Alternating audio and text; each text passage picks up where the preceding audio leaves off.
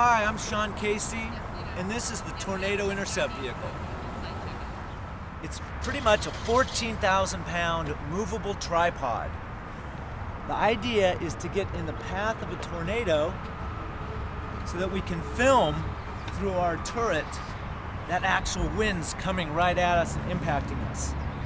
There is, of course, danger involved when you go into a tornado, so we have armor around where the people are. This is two inch thick armor. Also, we have these panels that lower to the ground to block those winds that would create lift. We want the winds to go over the vehicle, not underneath.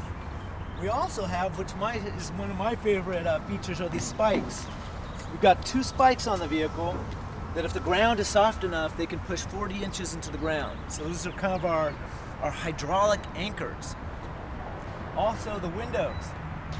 These are two layers of half inch polycarbonate. We don't want any type of debris, whether it's, it's, it's two by fours or it's telephone poles that could actually penetrate our hull and get to us on the inside. So basically, this is an armored vehicle designed for one mission, to drive into a tornado.